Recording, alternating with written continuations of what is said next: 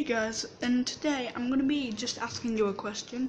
So if you want me to upload Mr. Bean's Holiday, the full film, if I can, um, get me to 10 subscribers and I'll upload it.